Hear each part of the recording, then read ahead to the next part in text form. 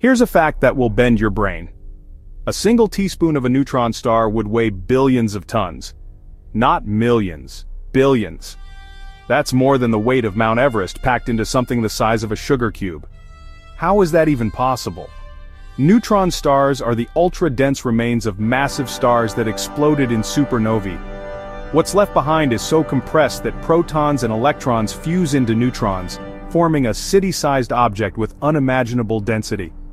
We are talking about a star that is only about 20 kilometers wide, but contains more mass than our entire sun. Just a pinhead of its material would crush anything it touched. Gravity is so strong even atoms get squished.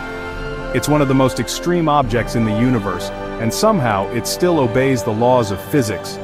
Space isn't just big, it's heavy. Follow for more cosmic facts that will blow your mind.